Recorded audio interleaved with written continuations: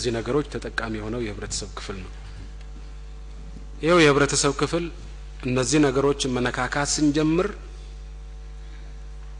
በመሰረታዊ ጥቅሙ እንደመጣንበት አውቆ ባለ በሌላ አቅሙ እንደሚረባረብ አስቀድመን የገመት ነው ነገር ነው የነበረው እና እንደ ገመት ነው ባለ በሌላ አቅሙ ተረባርቧል።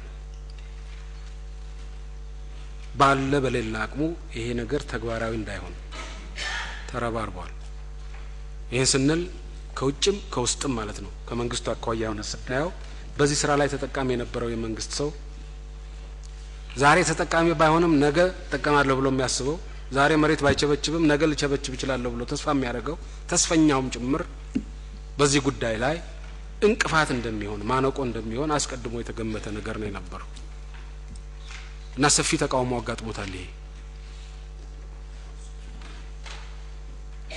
ሁለተኛው እና በበቂ ደረጃ ያልተገመተው እነዚህ ኃይሎች ይህን ለማደናቀፍ ህብረተሰቡን ሲሆን ሲሆን ከጎናቸው ለማሰለፍ ካልሆነም ከመንግስት ጋር ተሰልፎ እነዚህን ነገሮች እንዳይዋጋ ለማድረግ ከገመትነው በላይ ብቃት አይተንባቸዋል። ከገመትነው በላይ ጥበብ አይተንባቸዋል። ከገመትነው በላይ flexibility አይተንባቸዋል።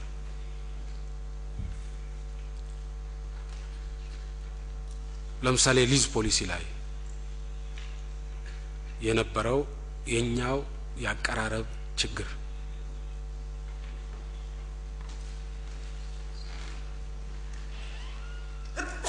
እንደ አንድ ነገር ነው ያሾሩት። ምርጥ የሀገራችን ሴቶች እንዝርቱን እንደሚያሾሩት ነው ያሾሩት። ቀዳዳው የከፈተላቸው የኛው አፈጻጸም የአቀራረብ ችግር ነው። ቀዳዳ የሚፈጥርላቸው በዚህ ፖሊሲ ተጠቃሚ የማይሆነው የመንግስት መዋቅር ነው። ይህን የፈጠረላቸውን ቀዳዳ በመጠቀም በደንብ አሽሮታል። ከግብር አሰባሰብም ጋር የተያያዘው እንደዚሁ፣ ከንግድ ውድድርም ጋር የተያያዘው እንደዚሁ። አሁን በሃይማኖት ጉዳይ ላይ በዚህ በመርካቶ ዙሪያ የነበረውን እንቅስቃሴ በምናይበት ወቅት ከበስተጀርባ ያሉ ዋና ዋና ሰዎች እነማን ናቸው ብለን ለማጥራት በምንሞክርበት ወቅት ከበስተጀርባ ያሉት ዋናዎቹ በእነዚህ በሶስቱ ጉዳዮች የሚመቱት ናቸው ዋናዎቹ እና ብሩን በእግዚአብሔር በመተርጎም የሃይማኖት ጥያቄ ሆነው የወጣው እነዚህ ሰዎች ናቸው። በጣም ፍሌክስብል ናቸው ሆኖ ያገኘ ናቸው ከገመት ነው በላይ። ስለዚህ ይሄ ትግል ከገመትነውም በላይ ውስብስብ ሆኗል። ስለሆነም ከገመትነው በላይ ጊዜ ወስዷል። ነገር ግን በእኛ እምነት ይሄ የሞት ሽረት ትግል ነው። በእነዚህ መሰረታዊ ጉዳዮች ላይ compromise የሚባል ነገር የለም። ወይ ኪራይ ሰብሳቢነት ያሸንፋል፣ ወይ ልማታዊነት ያሸንፋል። ወይ ሙስና፣ አድሎ፣ የብልሹ አስተዳደር አረንቋ አገሪቱን በሙሉ ያጥለቀልቃል፣ ወይ ይሄ ይደርቃል። ስለዚህ ውስብስብ ቢሆንም በዚህ ተግባር ላይ የተሰማሩት ኃይሎች የሚደነቅ ችሎታ የታየባቸው ቢሆንም ከተገኘው ልምድ ተምረን ህብረተሰቡን ከጎናችን ለማሰለፍና ይሄንን አረንቋ ለአንዴና ለመጨረሻ ጊዜ ማድረግ መስራት ይኖርብናል። ይህን እንሰራለን። አንዳንድ አካባቢዎች ላይ ጥሩ ውጤት አግኝተንበታል። በአንዳንድ ክልሎች በጣም ጥሩ ስራ ተሰርቷል። ትግሉ የጎራ መደበላለቅ ሳይታይበት በአግባቡ የተፈጸመበት ሁኔታ አለ።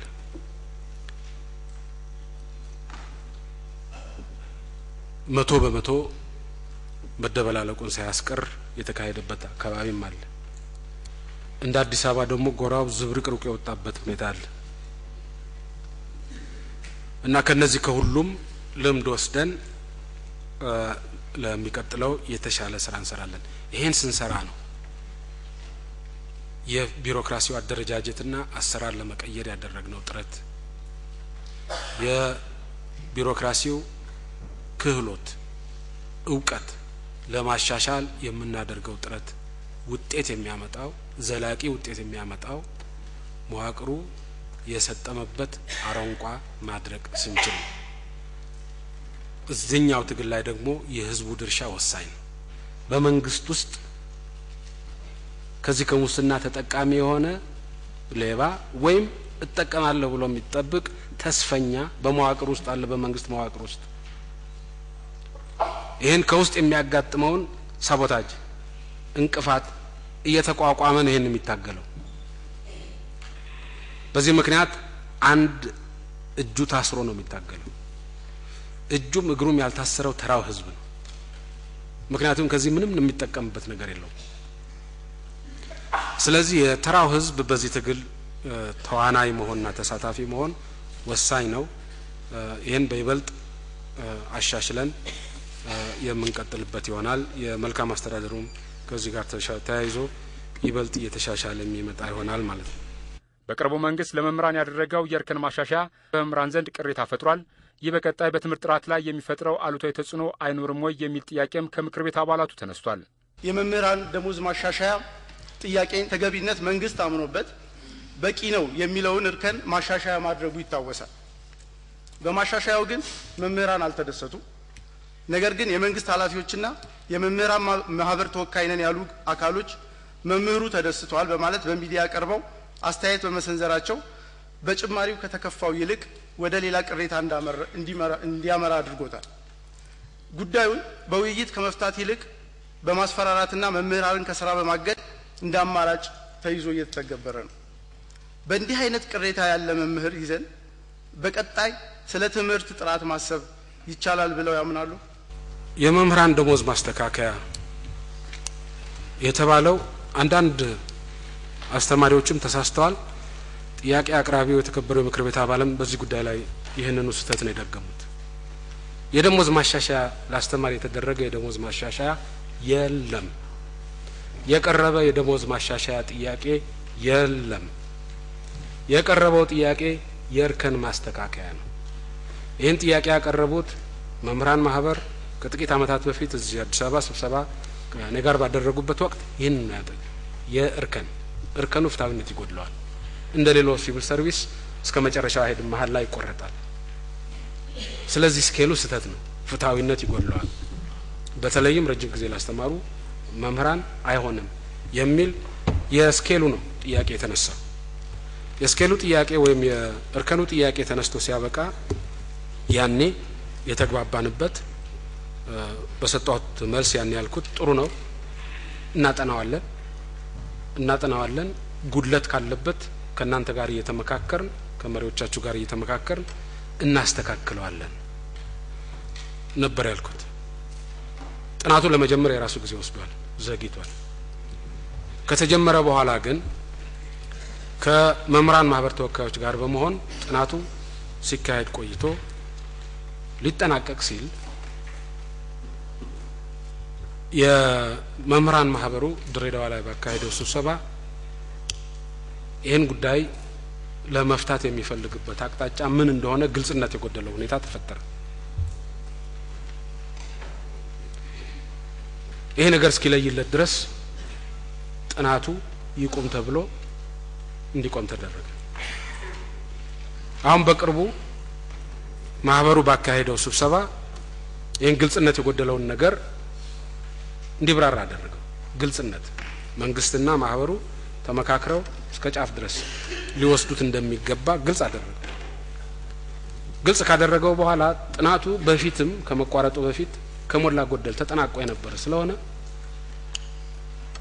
ማህበሩ ይሄን ነገር እንዴት እንደሚገፋበት ግልጽ ካደረገ በኋላ በቀጥታ ወደ ተግባር ለመግባት ነው የተቻለው እና በቀጥታ ወደ ተግባር ተገብቶ እርከን ነው የተስተካከለው። እርከን ሲስተካከል እግረ መንገዱን አንዳንዱ አምስት ብር፣ አንዳንዱ ስልሳ ብር፣ አንዳንዱ አምስት ሀያ ብር ያገኛል።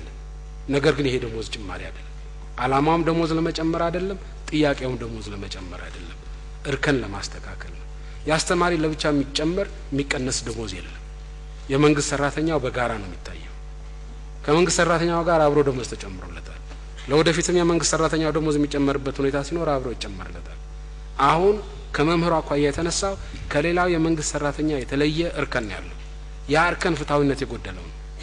ስለዚህ እንደ ሌላው የመንግስት ሰራተኛ በእኩልነት እንዲታይ እርከኑ ይስተካከል ነው ጥያቄው። ስለዚህ እግረ መንገዱን እዚህም እዛም ትንንሽ ብር ስለተጨማመረ የደሞዝ ጭማሪ መስሎ የሚታያቸዋል። የደሞዝ ጭማሪ ጥያቄም የለም፣ አልቀረበም። የደሞዝ ጭማሪ ውሳኔም አልተሰጠም። የእርከን ማስተካከያ ብቻ ነው የተሰጠው። የእርከን ማስተካከያ ውሳኔ ሲሰጥ ግን ከእርከኑ ማስተካከል ጋር ተያይዞ ትንንሽ ብሮች ወደ ግራ ወደ ቀኝ የሚሄዱበት ሁኔታ አለ። ይሄ ደሞዝ ጭማሪ አይደለም እና የመምህራን ለብቻ ተለይቶ የሚቀመጥ የደሞዝ ጭማሪም የለም፣ ሊኖርም አይችልም። እንደ ሌላው መንግስት ሰራተኛ ነው የሚሆነው። ስለዚህ እዚህ ላይ አንዳንድ ጊዜ የግንዛቤ ችግር አለ። ብዙ አስተማሪዎች ችግር ውስጥ የገቡት ነገሩን በደንብ ስላልተገነዘቡት ነው። የደሞዝ ጭማሪ አድርገው ነው የወሰዱ። የደሞዝ ጭማሪ አድርገው ይወስዱና ትንንሽ ብር ነች የተሰጠችን እች ምን ልትሆን ነው ብለው ነው የሚጠይቁት። የደሞዝ ጭማሪ አይደለማ ጥያቄው። ደሞዝ ለመጨመር ተብሎ አይደለም የተሰራው። እርከን ለመስተካከል ተብሎ ሲደረግ እግረ መንገዱን አንዳንዱ ደሞዝ ስለተነካካ ነው አንዳንዱ ላይ ትንንሽ ጭማሪ የታየው እንጂ የደሞዝ ጭማሪ አይደለም። ጥያቄውም አልነበረም እሱ።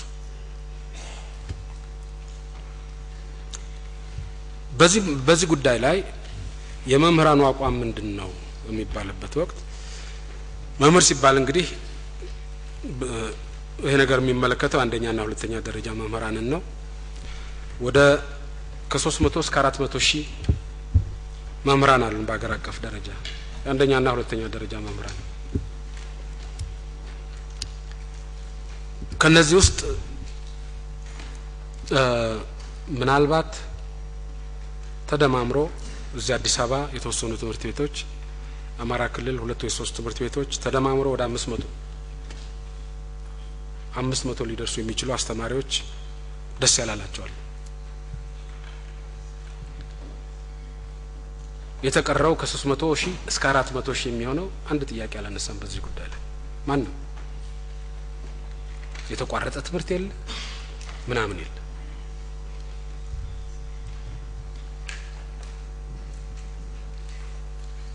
አምስት መቶና አንድ ሺህ ቀርቶ ከተማሪው ካስተማሪው አንድ percent እንኳን ደስ ባይለው አስር percent እንኳን ደስ ባይለው የሚገርም ነገር አይሆንም። መቶ በመቶ የሚያስደስት መንግስት የለም በየትኛውም ሀገር።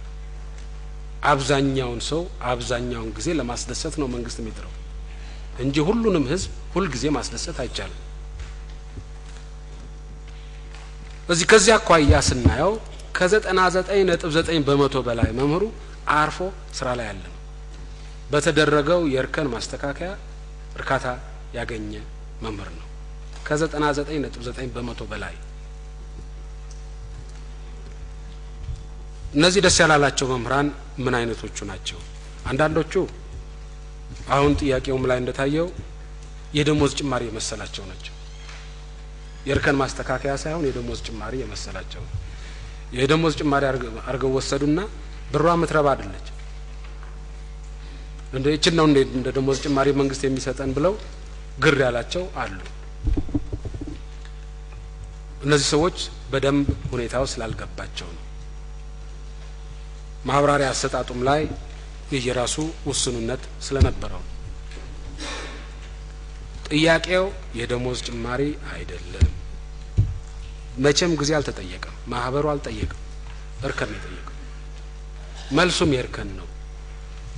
ትንንሽ ደሞዝ የተጨመረው እርከን በማስተካከሉ እግረ መንገዱ ነው እንጂ ለብቻ ለመምህር ከሌላው መንግስት ሰራተኛ ተነጥሎ የሚሰጥ የደሞዝ ጭማሪ የለም የሚለው በደንብ ስላልጨበጠው ነው።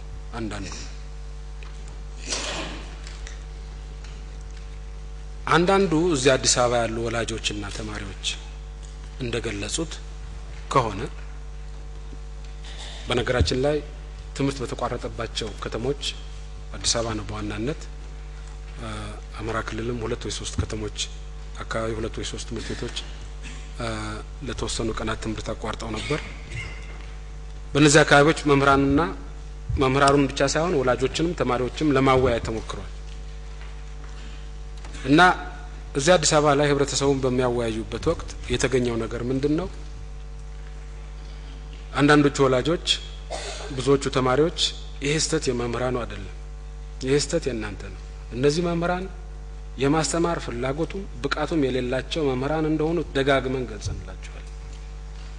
እነዚህን ይዘን የትምህርት ጥራት ማረጋገጥ እንደማይቻል ደጋግመን ገልጸንላቸዋል። እነዚህን ሰዎች አስወግዳችሁ ጥሩ አስተማሪ መመደብ ሲገባችሁ ኃላፊነታችሁን ያልተወጣችሁ እናንተ ናቸው። አሁን ለፈተና ለሀገር አቀፍ ፈተና በምንዘጋጅበት ወቅት ወገባችንን ቢመቱን እና እኛ አስተማሪዎችን ብቻ አይደለም በተጠያቂነት የምንይዘው ብዙ ጊዜ አቤት ብለን ያልሰማንን አስተዳደር ጭምር ነው የምንጠይቀው ነው ያለው። ስለዚህ እንደዚህ አይነት በአስተማሪነት ያልተሳካላቸው በግርግር ሊሳካላቸው እንደሚችል ተስፋ የሚያደርጉ ጥቂቶች በጣም ጥቂቶችም አሉ። ሌላው ምናልባት ምክር ቤቱ አባላት በደንብ አልተከታተላቸው ይሆናል። ምድረ ነውጠኛ ከዛሬ ነገ ትምህርት ቤት ተበጣበጠ፣ ኢትዮጵያ ውስጥ አመፅ ተቀሰቀሰ ብሎ ቋምጦ ነው የነበረው።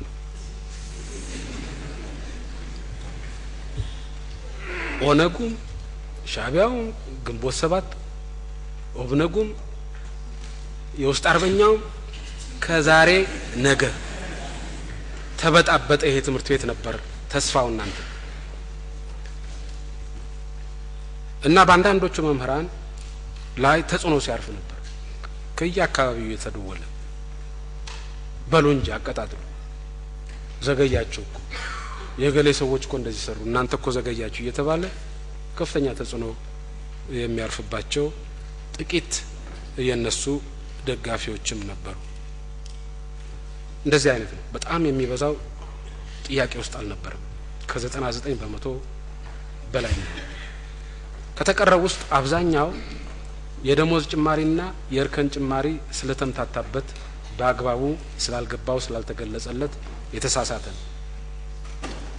ከነዚህ ከጥቂቶቹ ደግሞ በጣም በጣም በጣት የሚቆጠሩት አንድም በአስተማሪነት ያልተዋጣላቸው አሊያም የውጭ እነዚህ ነውጥ ኃይሎች በርቱ እያሏቸው ይህንን ለነውጥ መሳሪያ ለማድረግ ሞክረው የነበሩ ናቸው። እና ከዚያ አኳያ የአዲስ አበባ አስተዳደር ስህተት ሰርቷል የሚለው አንድ ከአስር በታች አስተማሪዎች ማስወገዱ አይደለም። ስህተት ሰርቷል የምለው የወላጆችንና የተማሪዎችን ድምጽ በወቅቱ አልሰማም ነው እና ለወደፊቱም ቢሆን ወላጆችና ተማሪዎቹ እነዚህ ሰዎች ገሌ ገሌ ገሌ አባ ገሌ በደንብ እያስተማረን አይደለም፣ የማስተማር ፍላጎቱም ብቃቱም የለውም፣ ስለዚህ የተሻለ አስተማሪ አምጡልን እያለ በሚጠይቅበት ሁኔታ የህብረተሰቡን ድምጽ አለማዳመጥ ስህተት ነው። ለወደፊቱም መስተካከል ያለበት ይሄ ነው። ሌላው አስተማሪ ቀደም ሲል እንዳልኩት ዘጠና ዘጠኝ ነጥብ ዘጠኝ በመቶ በእርከን ለውጡ የረካ ነው። ባለው ደሞዝ የረካ ነው ወይ? ባለው ደሞዝ የረካ ሰው የለም እዚህ ሀገር ውስጥ። የኑሮ ውድነቱ አለ። መንግስት የሚከፍለው ደሞዝ አነስተኛ ነው። ስለዚህ በሚሰጠው ደሞዝ የረካ የተደሰተ አስተማሪም ሆነ ሌላ የመንግስት ሰራተኛ የለም። እንዲሻሻልለት ይፈልጋል ሁሉም፣ ሊሻሻልለት ይገባል ሁሉም። ነገር ግን አሁን ደሞዝ ጭማሪ ብንጨምር ምንድን ነው የሚሆነው ውጤቱ? ተመልሶ ዋጋ ግሽበቱን ማባባስ ነው ወይስ ምንድን ነው?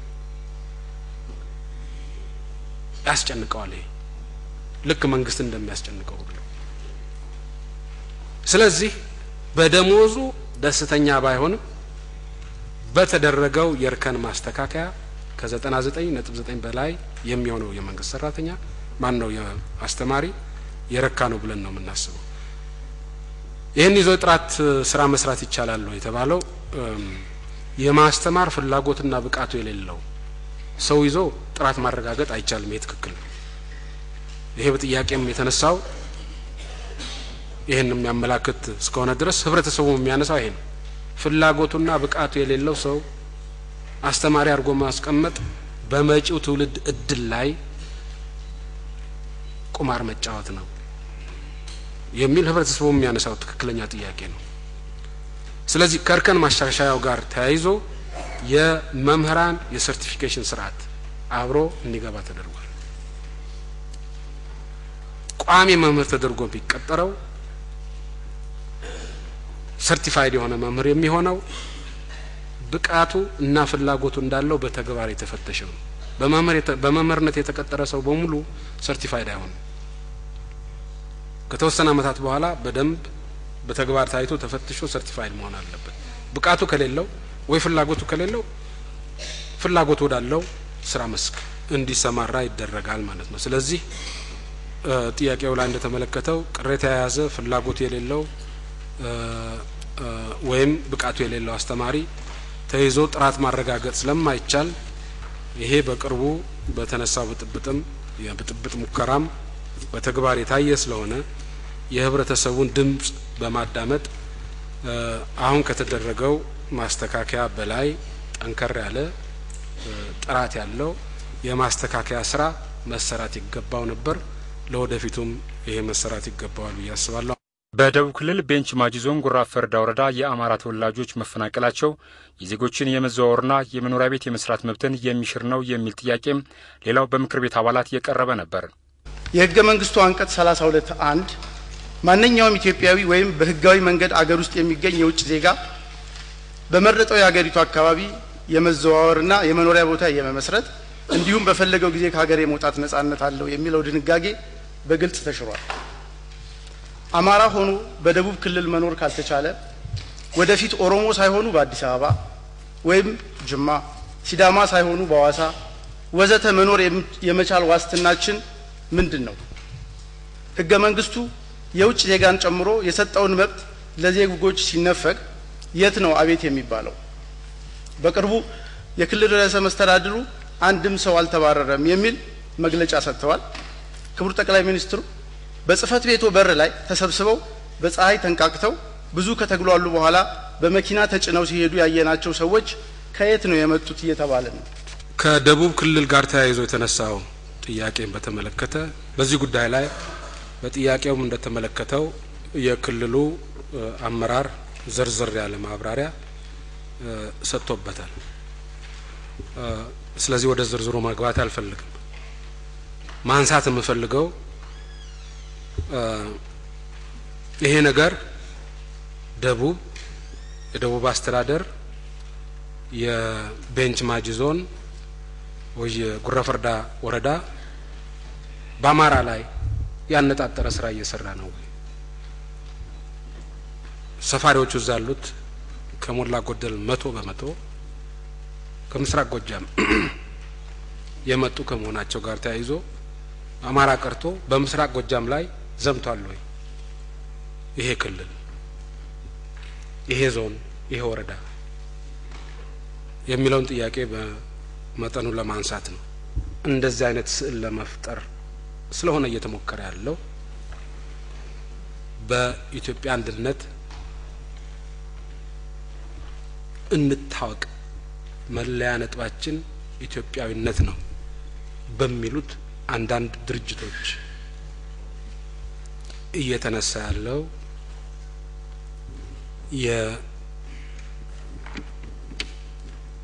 የመንደርተኝነት ጥያቄ ይሄ ስለሆነ በዚህ ጉዳይ ላይ ነው ለማንሳት የምፈልገው። በዚህ በቤንች ማጂ ዞን በሆነ ታሪክ አጋጣሚ ባለፉት አስር አመታት አካባቢ በርከት ያለ ሰው ከምስራቅ ጎጃም ወደዚህ አካባቢ በሰፈራ መልኩ ሄዷል።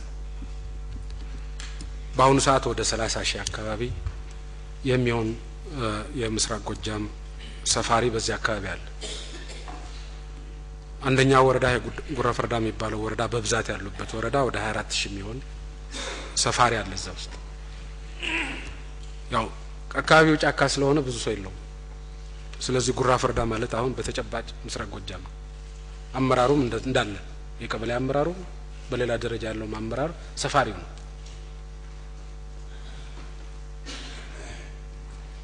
ይሄ ምንም ችግር የለውም። የሚታረስ መሬት አለ። ማረስ የሚፈልግ ሰው አለ። ማረስ የሚፈልግ ሰው የሚታረስ መሬት ሄዶ ቢያለማ የሚጎዳ ሰው የለም። ሁሉም ነው የሚጠቀም ኖር የለውም እና ከዚህ አኳያ ምንም ችግር የለም። ጥሩ ስራ አንድ ችግር ብቻ ነው ያለው። ስራው የተሰራው ባልተደራጀ አኳኋን ነው። በተናጠል ነው አርሶ አደሩ የሚሰፍረው። በተናጠል ስለሚሰፍር አሰፋፈሩ አውዳሚ በሆነ መልኩ ነው የሚሰፍረው። ተጠንቶ የአካባቢ የደን ጭፍጨፋ በሚቀንስ መልኩ ሳቫና የሆነ ኤሪያ አለ፣ ለሰፈራ የተመቸ ጫካ፣ ጥቅጥቅ ያለ ጫካ ደግሞ አለ፣ protected መሆን ያለበት አርሶ አደሩ ቶሎ የሚለማ ለም የሚመስል መሬት ነው የሚፈልገው። ጫካ ነው አይደለም፣ ይህን ያህል የሚያስጨንቀው አይደለም።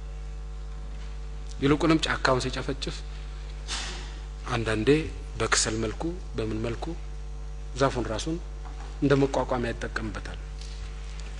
በዚህ ምክንያት ሰፋ ያለ ሰፋ ያለ የደን ጭፍጨፋና ውድመት እዛ አካባቢ አጋጥሟል። ከዚህ ጋር በተያያዘ ክልሉ ዞኑ እና ወረዳው ሰፈራ አይኖርም አይደለም ያለው። ደን ጨፍጭፈውም ቢሆን ኑሯቸውን የመሰረቱ ሰዎች ይነቀሉ አይደለም ያለው። ያለው ነገር ያለፈው አልፏል። ያለፈው ውድመት መመለስ ያስቸግራል። እዚህ ቦታ መጥተው ሰፍረው ኑሮ ያደራጁ ሰዎች ማፈናቀል ትርጉም የለውም። ከጥቅሙ ጉዳቱ ነው የሚያመዝነው። ስለዚህ ያለፈው አልፏል። ከእንግዲህ ወዲያ ግን ባልተደራጀ መልኩ ሰፈራ መኖር የለበትም እና የደቡብ ክልልና የአማራ ክልል በዚህ ጉዳይ ላይ ተነጋግረው ሰፈራ ካስፈለገ በተደራጀ መልኩ እንዲሆን፣ አለበለዚያ ግን በተናጠል እየመጣ ደን የሚጨፈጭፍበት ሁኔታ መኖር የለበትም። ሕገ ወጥ ስራ ነው፣ ይሄ መቆም አለበት ነው የተባለው። ይሄን ነው የተገበረው ክልሉ። ይሄ በቤንች ህዝብ ላይ የተቃጣ ወንጀል አይደለም። በምስራቅ ጎጃም ሰፋሪ ላይ የተቃጣ ወንጀል አይደለም። በዚሁ መልኩ ለመተርጎም የሚደረገው ሙከራ ኃላፊነት የጎደለው ነው። እውነቱን በትክክል አጣርቶ ሁሉንም የኢትዮጵያ ህዝቦች እኩል በማየት እንደ መፈክራቸው ሁሉ ሁሉንም ኢትዮጵያዊ እኩል በማየት የሁሉም ኢትዮጵያዊ መብትና ጥቅም በኩል ደረጃ ላይ በማስቀመጥ ተጨባጭ እውነታውን አጣርተው መወሰን አቋም መያዝ ሲገባ በጥቅሉ ከመሬት ተነስቶ ነገሩን ሳያጣሩ ምስራቅ ጎጃም ተደበደበ፣ አማራ ተጠረገ የሚል ኃላፊነት የጎደለው ቅስቀሳ ነው ሲካሄድ የቀረው። ይህ ስህተት ነው፣ አይጠቅምም ለማንም። እውነታው አሁን የጠቀስኩት አይነት ነው። የሕዝብ ተወካዮች ምክር ቤት አባላት በሃይማኖት ነጻነት በወቅታዊ የኤርትራና የሶማሌ ጉዳዮች ላይ ያነሷቸውን ቀሪ ጥያቄዎችና የተሰጡ ማብራሪያዎችን በሚቀጥለው ዝግጅታችን ይዘን እንቀርባለን።